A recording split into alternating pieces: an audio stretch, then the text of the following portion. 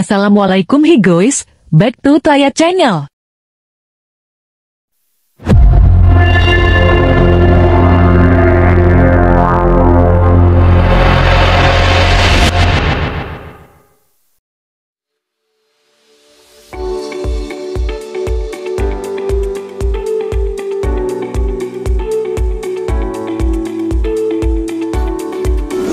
Number 1.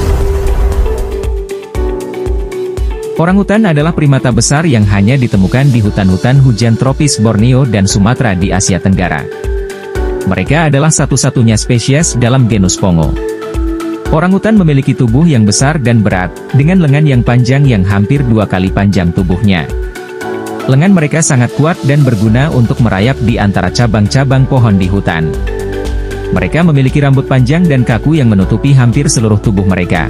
Memberikan perlindungan dari hujan dan cuaca, wajah mereka khas dengan moncong yang menonjol dan alis yang menonjol. Orangutan memiliki dua subspesies, orangutan Sumatera Pongo abeli dan orangutan Kalimantan Pongo pygmaeus. Orangutan adalah hewan soliter kecuali saat betina dengan anak, mereka umumnya menjalani gaya hidup arboreal hidup di pohon.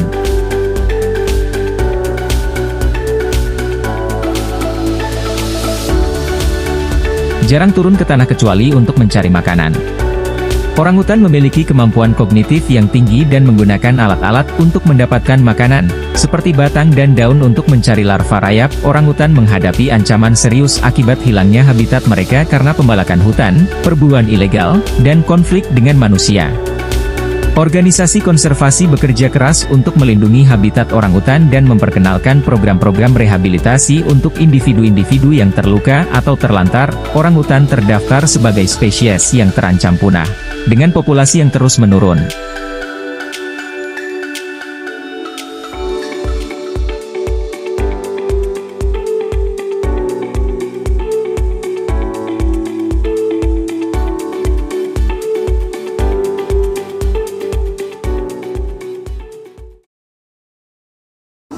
Number 2.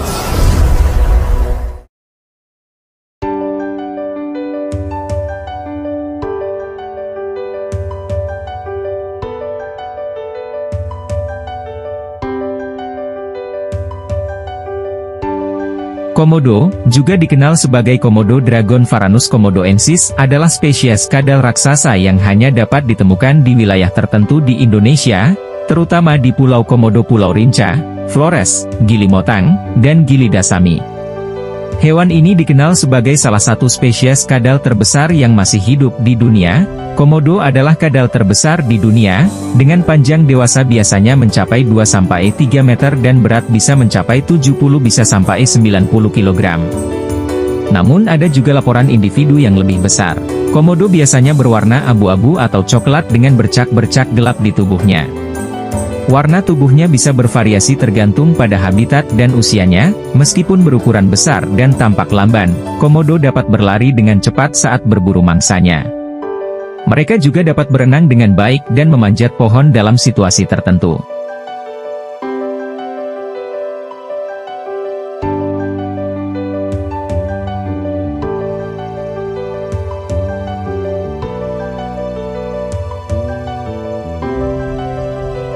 Komodo hidup di habitat tropis kering seperti sabana dan hutan mangrove di Kepulauan Indonesia bagian tengah. Populasi alami terbesar komodo berada di Pulau Komodo, Rinca, dan pulau-pulau kecil di sekitarnya. Namun, beberapa individu juga ditemukan di pulau-pulau lain di sekitar Nusa Tenggara. Komodo adalah karnivora dan merupakan pemangsa puncak di habitatnya. Mereka memakan berbagai jenis mangsa termasuk mamalia kecil, burung, telur, dan kadang-kadang hewan yang lebih besar seperti rusa dan babi hutan, komodo menggunakan indera penciuman yang tajam untuk melacak mangsa. Mereka juga memiliki gigitan yang sangat kuat dan tajam, serta bisa membunuh mangsa dengan cara merobek daging atau menyebabkan infeksi dari luka gigitan. Populasi komodo terancam oleh kehilangan habitat, perburuan ilegal,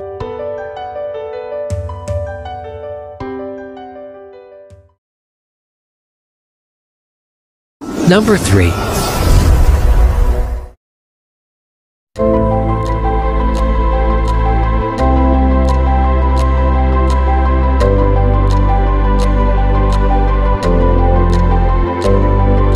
Monyet adalah mamalia primata yang tergolong ke dalam keluarga Hominidae. Mereka berasal dari ordo primata dan dibagi menjadi dua kelompok utama, monyet dunia lama dan monyet dunia baru. Monyet dunia lama terutama ditemukan di Asia dan Afrika, sementara monyet dunia baru ditemukan di Amerika Selatan dan Meksiko. Monyet dapat ditemukan di berbagai habitat, mulai dari hutan tropis hingga padang rumput dan bahkan area urban. Mereka memiliki penyebaran yang luas di seluruh dunia. Monyet memiliki berbagai ukuran tubuh, mulai dari yang kecil monyet memiliki anggota tubuh yang sangat fleksibel, seperti tangan dan kaki, yang membantu mereka bergerak dengan mudah di lingkungan mereka polanya makan bervariasi tergantung pada spesies dan habitatnya. Sebagian besar monyet adalah omnivora. Yang berarti mereka memakan berbagai jenis makanan termasuk buah-buahan, monyet adalah hewan yang sangat sosial dan sering hidup dalam kelompok besar yang disebut trop, monyet dikenal karena kecerdasan mereka yang tinggi. Mereka mampu menggunakan alat-alat sederhana untuk mendapatkan makanan, memecahkan masalah yang kompleks, dan bahkan menyesuaikan diri dengan perubahan lingkungan. Kecerdasan ini telah membuat monyet menjadi subjek penelitian yang penting dalam bidang etologi dan psikologi hewan. Monyet menghadapi berbagai ancaman terutama karena hilangnya habitat mereka akibat deforestasi, perburuan ilegal, dan perdagangan satwa liar. Beberapa spesies monyet